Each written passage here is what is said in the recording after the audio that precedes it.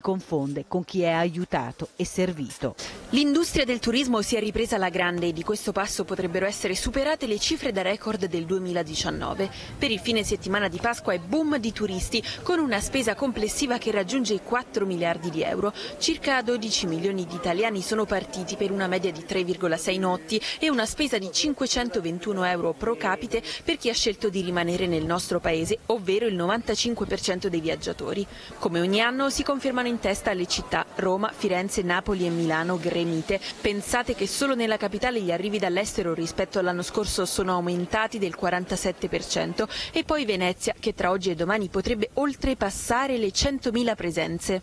Noi veniamo da Salerno, vieni a Venezia, sì. che merita sempre una visita. Ci siamo dati da fare, abbiamo fatto diversi chilometri a piedi, 29.000 passi ieri. Buone cifre per la filiera, secondo un'indagine di CNA Turismo e Commercio, anche in alcune regioni inedite come Marche, Umbria, Abruzzo, Basilicata e Molise, di cui cresce l'attrattività grazie alla promozione e alla valorizzazione del territorio, a partire dai piccoli borghi con 5.000 abitanti dove nasce il 92% delle produzioni tipiche nazionali. Tanti altri, che invece cercano il verde incontaminato, hanno approfittato della festività per alloggiare in uno degli oltre 25.000 agriturismi dell'entroterra, oltre mezzo milione di presenze, dove scoprire le eccellenze enogastronomiche, ma anche la storia, la cultura e le tradizioni del territorio. L'offerta in queste aree si arricchisce sempre di più grazie a servizi innovativi improntati sul benessere, per esempio, o sull'avventura.